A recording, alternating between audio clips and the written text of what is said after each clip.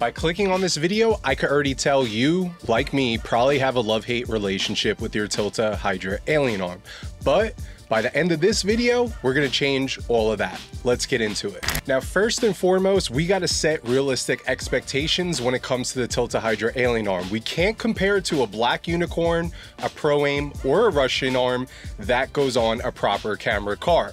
We're using this little tiny $1,300, I think it might even be cheaper now, arm compared to like six figure arms plus like almost another six figure camera car, all right? Like let's get that. But now when it comes to action-packed car sequences or anything on wheels using the Tilta Hydra arm, we only need a handful of seconds of stabilized footage. However, we can get longer takes and here are some tips in which we use to make sure on every shoot we go down this checklist before we roll tape.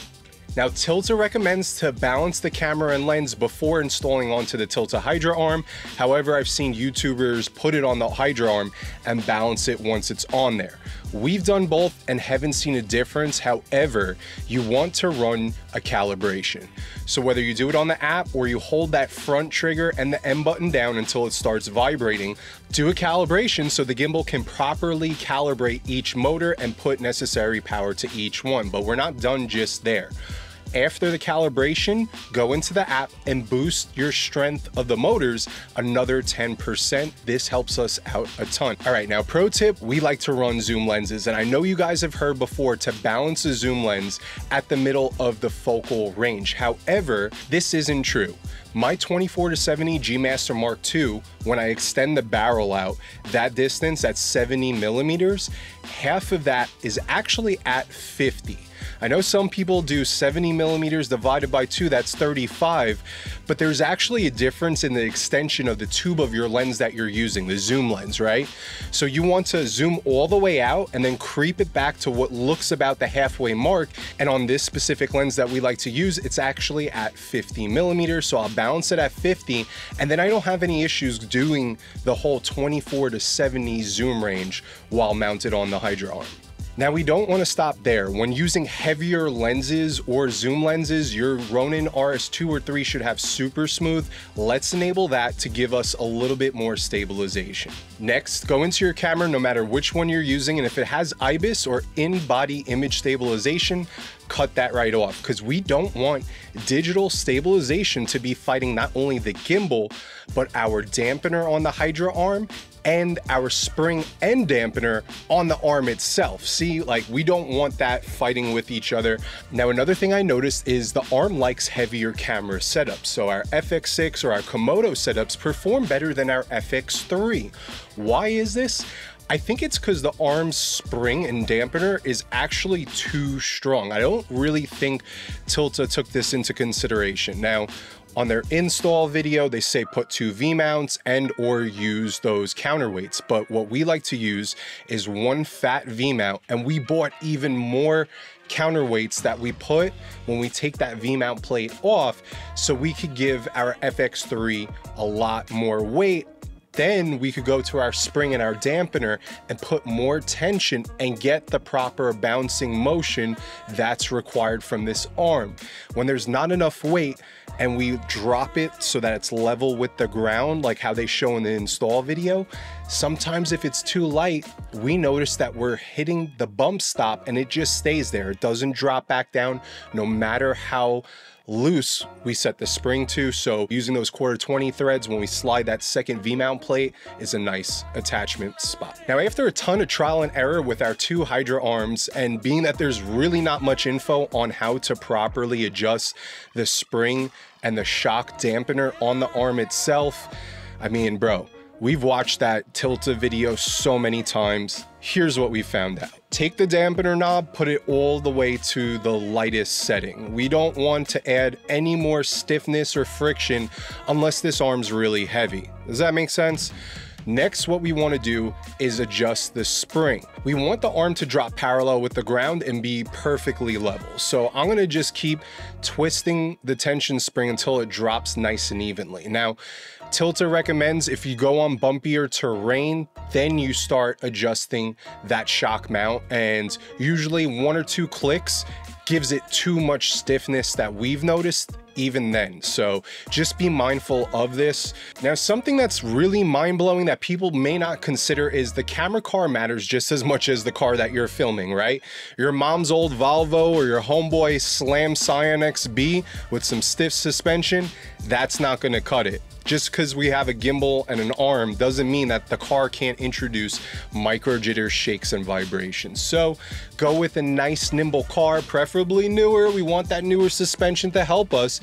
And another thing is when we use a proper camera car, we use that camera car to accentuate different movements like wraparounds, flybys, all different types of things, crossovers. We can use our camera car driver and his experience with headsets on communicating with that driver, say in the Porsche, right? And we could do a countdown. Three, two, one, we're gonna cross over, okay? Ready. Three, two, one, and then the camera car accentuates that crossover while I'm inside with the controller panning, really getting a nice crisscross movement. So as you develop your skill set, using different arms or automotive cinematography, you're gonna realize that that camera car is just as important as the one that you're filming because if your camera car driver knows how to communicate and knows how to do those movements, working with your car driver, your hero car driver, you could get some really badass shots. Now, another thing I wanna mention is your arm placement matters and so does the speed. And these two tips kind of work in cahoots with one another. So let's go over the placement of the arm and then I'll go over the speeds in which we're usually driving. As we know, mounting it on the front or side, we're gonna get a lot more wind resistance than behind the car. It's just natural. The car is blocking the wind. On the side, it's exposed and same with the front. So 95% of the time, I'm filming from the back of the car, but it might not be exactly where you think. Now, you can mount it dead center in the back and get great tracking shots. However, try mounting it on the passenger rear quarter. Now you're gonna get a little bit of wind resistance, but that's okay. We haven't had any issues going certain speeds that I'm gonna talk about in a second. However, you can cheat and get a little bit of a front 45 lead shot full wraparound and your rears when you have it mounted on the corner of the rear passenger versus dead center. So this gives us the ability to have more options for those more dynamic shots that I was just talking about utilizing that camera car. But when we mount it on the front, we're getting more jitters. So here's the speeds in which we normally drive. Now, a lot of these cuts are gonna be fast paced, two to maybe three, four seconds. So I don't need stabilized long clips that are like minutes long, right? But what I want is when we do those movements or those aggressive movements, I want that shit stabilized. The speeds in which we normally go are anywhere from, believe it or not, 35 miles an hour to 45 when mounted on the front and the side. And we use our camera car and our film hero car to accentuate the speed by doing more dynamic movements. Now, when we have it mounted on the back, we could go a little bit faster. 55 to 65 usually gets us stable shots, but we'll watch playback on a bigger monitor just to make sure throughout the shoot that we're not getting these micro jitters. And if we are, we adjust the speed. So you probably are wondering what type of isolator we're using, being that there's some modified ones you've probably seen when watching YouTube videos or in the forums, or just looking up Tilta's aftermarket one. We played with everything. We have two of the softer ones, the aftermarket ones, and they do help a ton, but they're still not perfect. And right now, we're currently CNCing our own custom isolator. We're doing the same method with the stainless steel braided cables that are coated with plastic. We've tried four, six, and eight inch. Six inch definitely helps the best that we've noticed so far. And what we're doing to mount those cables are instead, and I'll leave links in the description if you guys want to see how other people have modified theirs.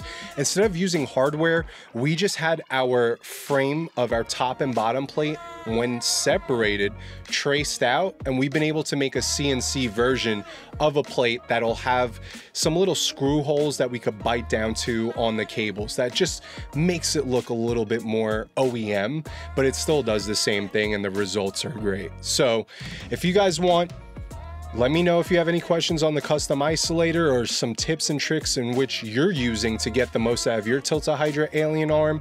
I'll answer any questions in the comments and anything like that. Just let me know and I'd be more than happy to chat with you guys about it. If you thought this video is helpful, leave a thumbs up, leave a like. It helps the channel a ton now that I'm trying to get back into the consistency here. And yeah, just follow those steps. Let me know how it goes and you should have stabilized footage in no time. And until next time, I'm Jason Anthony. Peace out.